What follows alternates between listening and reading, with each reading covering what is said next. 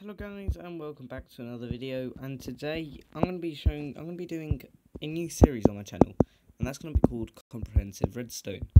Now what most videos do on YouTube they usually just give you the redstone um, details and everything and they're going to explain it but not all of you probably will understand it and yeah that's pretty much why I make this why I made this because lots of people don't usually understand redstone and that annoys me a lot.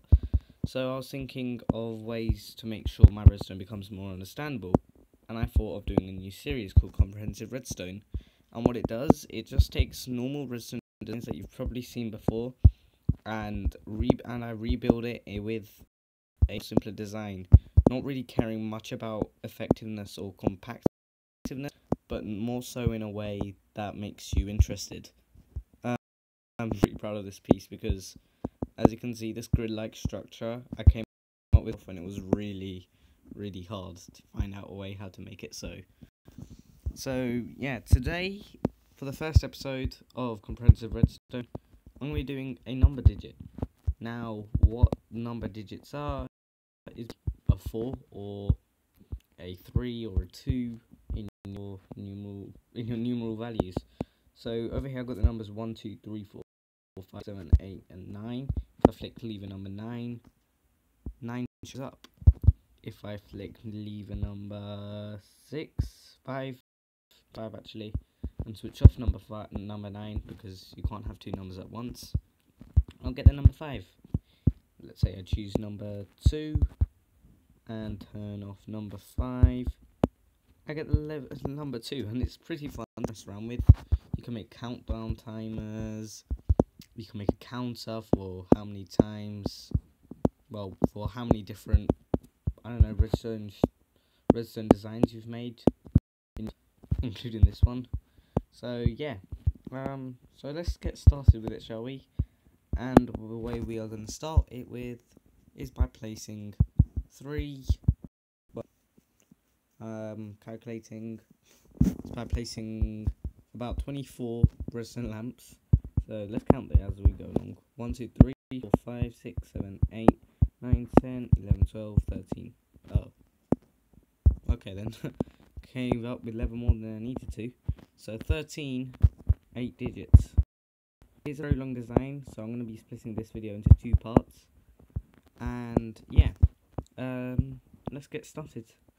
So yeah, now we've got the 8 digit structure. We just want to surround it with bedrock, probably. I chose bedrock you don't have to pick bedrock or a material. I just chose bedrock because it looks cool. So, so now the way this works is that repeaters they power uh, certain blocks. In this case, it's going to be this block over here, that block, and these uh, these other five blocks. One over here, one over here, and three over here. Now, these blocks, when this one it gets powered, these two also get powered. When this one gets powered, these two also get powered. And this one, these two, this one, these two, and this one, these two. So, yeah, that's the general idea behind it. And, yeah. And the thing is, however, how are we going to get these individual um, redstone currents towards each of these repeaters without any of the repeat without any of the redstone leaking over the repeaters. If I did if I did just this, then both repeaters would be on. And let's say I was making the number four, I wouldn't want this top one. So what we're gonna do is gonna split it into six different parts. Well, not six, seven. One over here, one over there, one over there, one over here, and three over here. So yeah, um, let's get started. So it's um, it's going to be slightly improvised, improvised. So please bear with me because it's not every day you try and separate redstone. So I'm going to start off with this middle one over here. Place a redstone block leading into the repeater. The two blocks behind it, actually no, one block behind it, and place a redstone trail leading out. There's a reason why I broke this block, and that's because for this um, time, I'm going to be placing a block behind each of the repeaters. So that way, when I power this block, the repeater switches on. So that way I don't have any redstone leaking onto this redstone dust. So yeah, I'm going to place a block over here, around like this.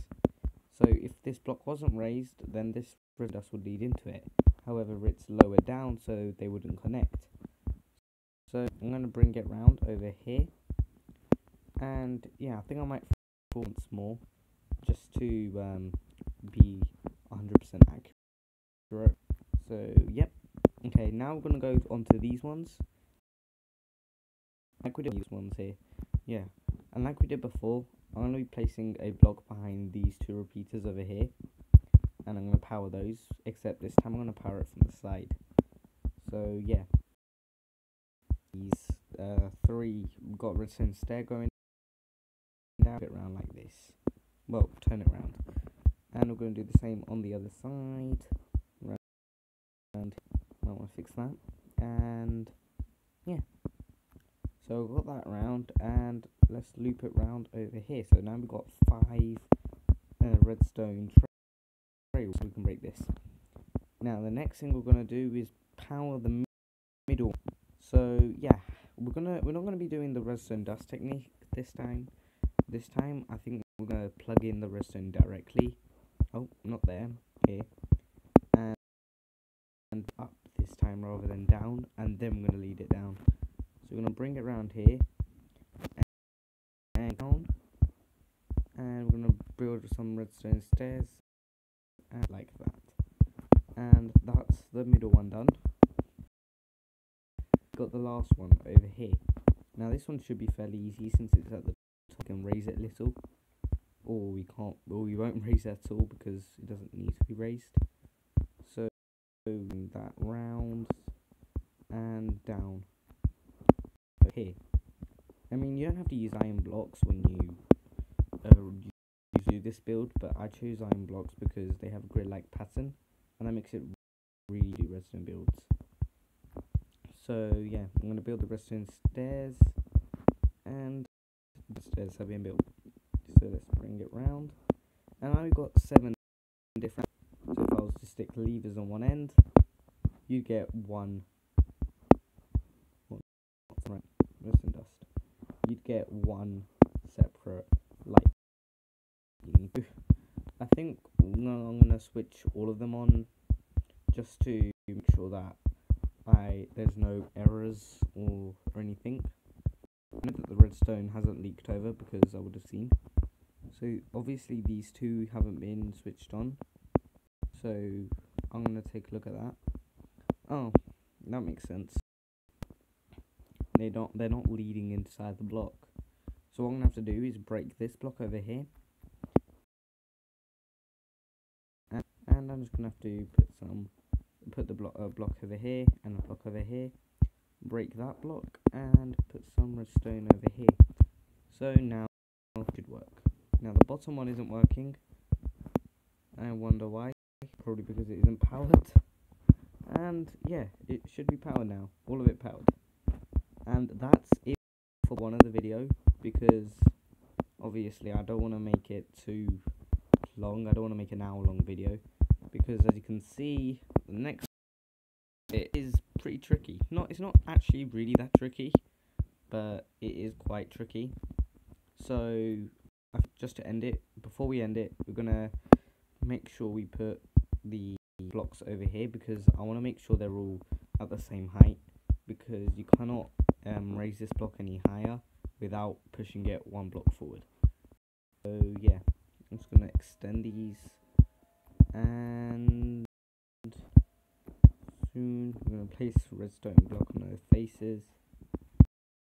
And that's it for the end of the video. I hope you enjoyed and please look forward to seeing more of this new series and I'll see you next time.